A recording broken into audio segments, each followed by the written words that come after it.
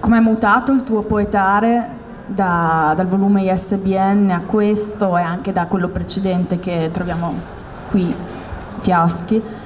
E poi um, come sono nati gli ultimi testi, quindi quelli che sono finiti in Le cose sono due, e, um, gli inediti e che significato ha questo settenario di cui parlavo prima, questo titolo? Mm, beh, Fiaschi è uscito nel 2009, quindi in realtà non tantissimo tempo fa, eh, però insomma contiene poesie che erano precedenti di una vita che mi sembra una vita fa, insomma poi ovviamente tra i 25 e i 35, adesso ho 35 anni, insomma si passano delle fasi molto diverse insomma, della vita.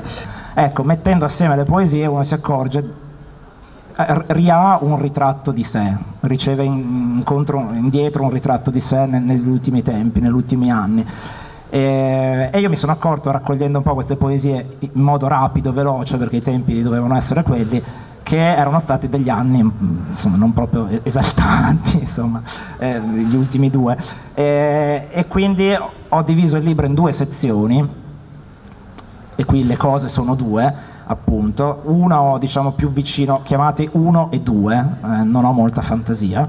Ehm, la, la, prima sezione che raccoglie poesie, diciamo così, che stanno dal lato, dal polo della vita e la seconda sezione dal polo della morte, diciamo così. I giorni in cui non parli con nessuno, le cose sono due.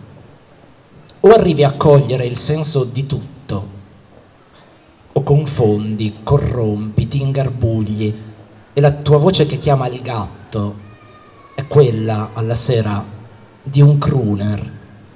Eccoti i miei rimasugli.